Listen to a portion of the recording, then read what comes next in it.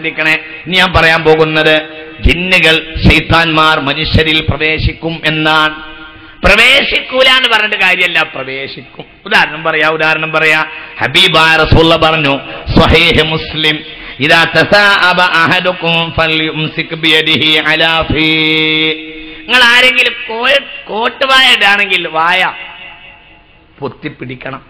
ഇന്ന ശൈത്താന യദ്ഖുലു പിശാജ് ഉള്ളിൽ കിടക്കുമെന്ന് കലസുല്ലാഹി സ്വഹീഹ് മുസ്ലിം. അപ്പൊ ഒരു കാര്യം മനസ്സിലാക്കാം അപ്പൊ ഒരു കാര്യം മനസ്സിലാക്കാം. മനുഷ്യന്റെ ഉള്ളിൽ കിടക്കാൻ കാത്തു നിൽക്കാണ് ആര്? ഷെയ്ത്താൻ അവസരം കിട്ടിയാൽ ഉള്ളിൽ കിടക്കും. അടച്ചിട്ട ദ്വാരത്തിലൂടെ ഒരിക്കലും ഷെയ്ത്താൻ കിടക്കുകയില്ലെന്നും തുറന്നിട്ട ദ്വാരത്തിലൂടെ ഏ കിടക്കൂ എന്നും ബുഖാരിൽ ഹരിച്ചുണ്ട് ഞാൻ പിന്നെ വിശദീകരിക്കാം. മനസ്സിലാവണില്ലേ പറഞ്ഞത്? മനസ്സിലാവണം മനസ്സിലാവണം. ചിന്തിക്കണം ചിന്തിക്കണം. അടച്ചിട്ടിടത്തൂടെ ഒരിക്കലും പിശാജ് ആ. കിടക്കൂല. അടച്ചിട്ടത് തുറന്നാൽ കിടക്കും. അടച്ചിട്ടത് തുറന്നാൽ കിടക്കും. അങ്ങനെയാണ്. അങ്ങനെയാണ്. ഒരു മനുഷ്യൻ അടച്ചിട്ട് തുറന്നാൽ കിടക്കും. അങ്ങനെയാണ്. അടച്ച രൂപത്തിൽ കിടക്കില്ല. അങ്ങനെയാണ്. വായ അടച്ച രൂപത്തിൽ പിശാജ് കിടക്കില്ല. നിങ്ങൾ എന്റെ മുഖത്ത് പോകുന്നത് കാര്യമല്ല. ഹരിയത്തിന്റെ ബുഹാരിൽ ഹരിയത്തിന്റെ ഞാൻ പറഞ്ഞുതരാം. നിങ്ങൾ എന്തോ ഒരു വിശ്വാസം വരാത്ത മാതിരിയാണുള്ള ഇരുത്തം. കേറിയിട്ട് പിന്നെ അപ്പൊ മുസ്ലിയാരെ ഷെയ്ത്താൻ ഇങ്ങനെ ഷെയ്ത്താൻ ഇങ്ങനെ കേറും നടക്കും ചോരന്റെ ഉള്ളിൽ നടക്കും എന്നൊക്കെ ബുഹാരിൽ ഹരീസില്ലേ അത് മനുഷ്യ കേറിയിട്ട് നടക്കുമെന്നാണ്. പക്ഷെ എങ്ങനെ കേറും? മനസ്സിലായില്ല നിങ്ങൾക്ക് അങ്ങനെ ഏതിലെ കയറും അങ്ങനെയാണ്. തുറക്കപ്പെടുന്ന സാഹചര്യത്തിൽ ആ കയറുക അങ്ങനെയാണ്. അങ്ങനെയാണ്. അങ്ങനെയാണ്. അതുകൊണ്ടാണ് ശാരീരിക ബന്ധത്തിന്റെ സമയത്ത് മൻ അറാദ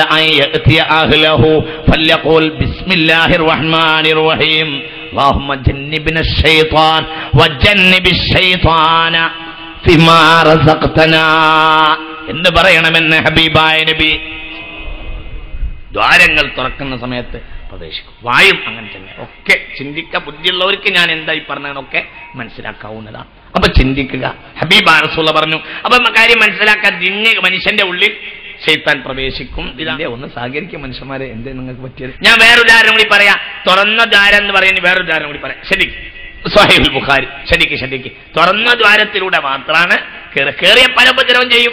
പല ഉപദ്രവം ചെയ്യും. അള്ളാഹു തല കാത്തിരക്ഷിക്കുമാറാകട്ടെ അതുകൊണ്ടാണല്ലോ കക്കൂസിൽ പോകുമ്പോ നിങ്ങൾക്ക് മനസ്സിലാവണില്ലേ. പിശാചിനെ തൊട്ട് ദ്വാരം തുറക്കുക. നിങ്ങൾക്ക് മനസ്സിലാവില്ലേ പറഞ്ഞു? വളരെ ചിന്തിക്കണം. അള്ളാഹു കാത്തുരക്ഷിക്കട്ടെ റബ്ബേ.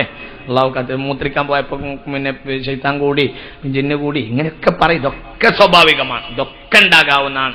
ഇതൊക്കെ കിടക്കുമെന്ന് പറഞ്ഞിട്ട് പിന്നെ ജിന്ന കൂടി എന്ന് പറയുമ്പോൾ നമുക്ക് ഭ്രാന്താണ്ട ആവശ്യമില്ല. കൂടുന്നാണ് ജിന്ന് മനസ്സിലാവുന്നത്. നിങ്ങൾക്ക് മനസ്സിലായില്ലേ?